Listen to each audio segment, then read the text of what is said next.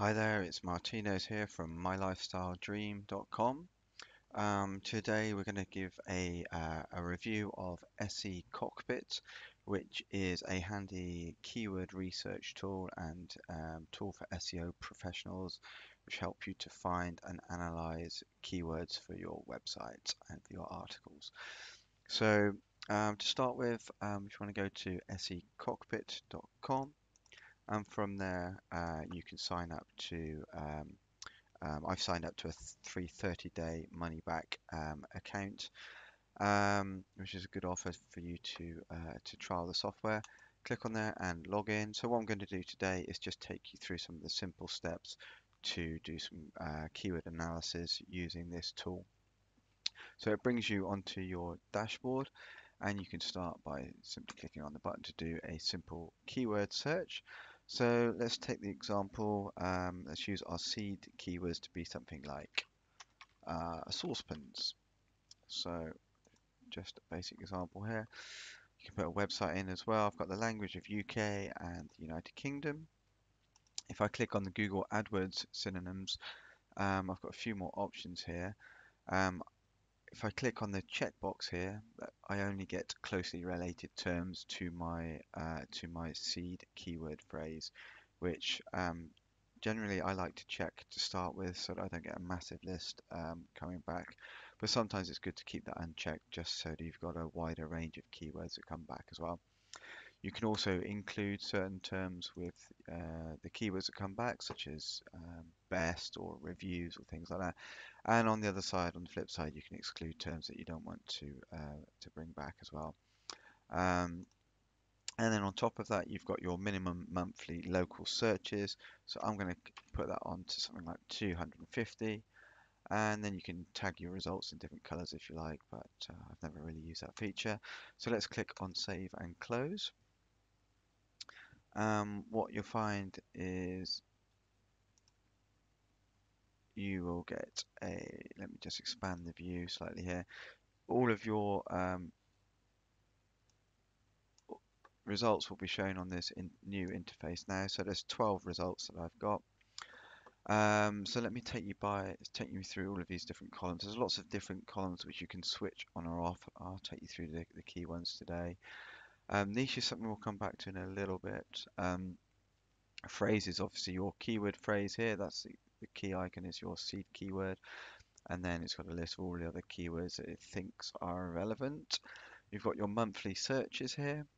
You've got a rank, so this column is particularly useful. So this is um, a rank which SE Cockpit has given based on a certain number of metrics, which we'll uh, look at on the following screen um, of how easy it is for you to rank in the top 10 of that uh, for that specific keyword.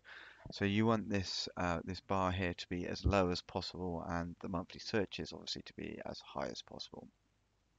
So um, I think what the niche value here does is it divides in the monthly number yes number of monthly searches by the competition value here.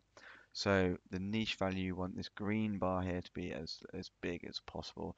And that's just a quick indicator really of whether that keyword is really worth you chasing after, whether it's worth you writing articles for, or whether it's worth you looking as a sort of core keyword for your niche website. Um, I have found though that for some of the keywords, uh, it will bring back a high niche rating um, but that's because the monthly searches for popular keywords are going to be really high um, and the competition is high. So, um, you know, it will bring back a high niche rating, even though it's going to be impossible for you ever to um, to to rank, um, get your site on one of the first pages for those keywords. Okay, onto some more of the um, um, uh, columns here. So we've got the domain checker, pretty standard, whether that domain is available for uh, for that keyword, so indexion or .net.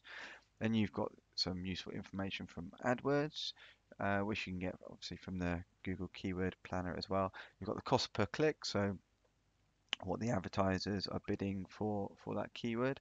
You've got the um, advertiser competition, so how many advertisers uh, or how competitive it is for advertisers to bid for that keyword.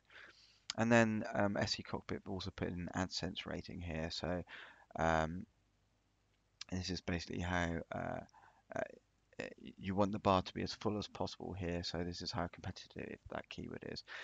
To switch on, there's a load of other metrics which are um, hidden here as well, which you can switch on and off.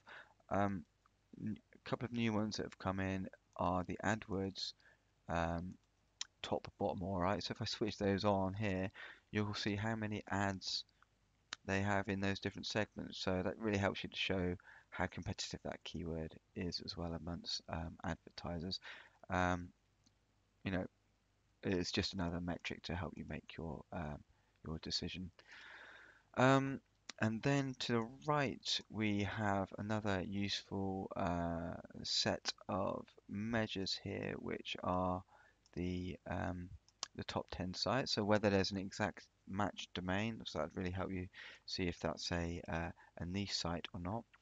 And then these items here show whether any of the results, sorry, any of the top 10 results for that keyword are an Amazon result, an eBay result. Um, this is, I believe, an Ezine report uh, result. We've got uh, HubSpot, uh, when, whether any of them are Squidoo, um, and then I think the last one is, let me just expand this, if there's any YouTube. So within those results, it would show up in this column here. Okay, so it's quite a nice uh, interface there. So let's say you want to interrogate one of these keywords a little bit further. Let's click on the keyword itself, saucepans. And then this is a really nice screen as well. So this helps to, um, will help you determine whether it's worth um, using this keyword or not. So I, th I think the SE cockpit uses a, a, combination of these metrics to give it its competition score on the previous page but let's go through these. So it's got the top 10 ranking. So if I went to Google and typed saucepans, I'm pretty sure you'll see Lakeland Amazon Direct by Asda. So I imagine they are going to be Lakeland Amazon Amazon Direct. Yeah. So the, exactly the top 10 uh, results that you'll see on on Google.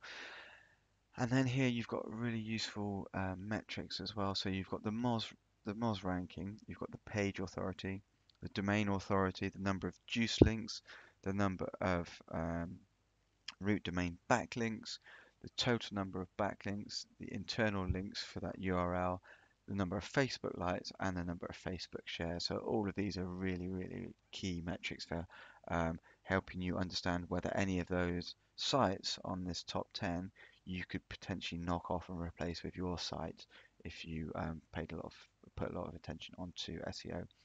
Now, what I like they've done here as well, they've obviously color coded it for you um, to see quickly. Green ones obviously um, are, are, good and potential ones for you to knock off.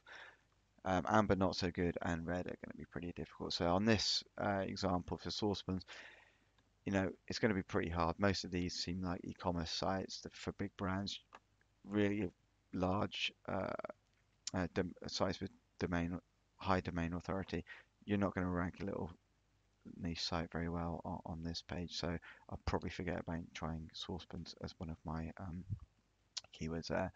A little bit further down, you can show you've got the web sends web search trends from Google Trends, which show the popularity of that keyword over time. It's just a useful little add-on there. Um, and that, that that's it really. It just repeats this sort of some of these metrics here. So if we go back to the original screen there's a couple of other um, uh, a couple of other features that I'd like to uh, I'd like to show. First of all um, just bear with me one second. So if I go back to this page okay so we have the calculator function here now this is really neat. I haven't seen this anywhere else uh, in any other keyword tool at the moment. So this basically helps you based on the numbers that are coming back here, so number of searches, the click through you'll get, uh, depending on the position you're trying to rank for, it will give you an indication of the number of visitors that you're going to get. And from there you can infer um, what your sales is going to be like. So if you're if you're selling a product on a site or any affiliates, you can work, you can calculate your percentage through this calculator here. And with AdSense as well, so it takes the cost per click. You get 60% of that um, um, uh, of that revenue. Um, let's say 5% of your ads, people click, 5% of your visitors click through on one of your ads. It's quite high. You get 34 in this example. You get 34 click-throughs a month, which equates to 43 pounds a month revenue. So not masses, but to be honest, if you get um, a, a, number of those as long tail keywords coming through for your site, then they all add up to something fairly substantial. But overall, I, you know, this conversion calculator is a really neat tool for you uh, to, to, to make sure that the numbers stack up. What else have we got? So we've got tag, you can ta obviously tag the different uh, keywords so you can easily recognize them. Never really use that. You've got an export function, so you can um, export as CSV or uh, XML. So I click on that, it gives me a CSV file. Let's just open that one up. And it gives you all of the um, different values that you looked at so you can filter and manipulate those um, as you like. It's quite handy. And then we've got another neat feature here, which is the expand feature. So you want to expand your keyword from saucepans. Let's say, for example, you want to just have something with the word best in there, and you want to reduce this down to 250. So you're changing your keyword search. Let's save that off and close it. And what you'll find is this search will um, gradually load all of the new um, keywords that it's found with those uh, with, with those criteria. So there's 27 found now, and you scroll down and you'll see they're all added to the bottom of the list, best pots and pans and things, and you can interrogate all of those different uh, um, different keywords uh, through that through that set there. Okay, so overall, I think it's um, you know, it's a great little tool for, for helping you get into uh, your keyword analysis, um, really helping you um, understand whether a keyword is competitive or not, or whether you will be able to rank well for that keyword. It takes a lot of the um, manual labor away uh, from doing this through Google, um, Google uh, Keyword Planner or um, other tools. Um, uh, it, overall, it's a great, great tool, I believe, for any um, SEO professional or someone using uh, keyword analysis a lot with their business. Um, cost for this, I believe it's about $40 a month. Uh, yeah, $40 a month for the basic version, which gives you 10 keyword searches a day, or $80 a month for the, the pro version. Um, I really like it. Um, I recommend that you um, give it a go. Uh, use your 30 day trial. Um, try it out and uh, you know tell me how your experiences were as well. So I think that's it for today. Um, thanks very much. It's Martino here at mylifestyledream.com. Head on over to My Lifestyle Dream and um, look at some tips about um, how you can make money online and look at ways to change your lifestyle to, to make it uh, a suitable lifestyle that you're looking after. Okay, guys, thanks very much. Cheers.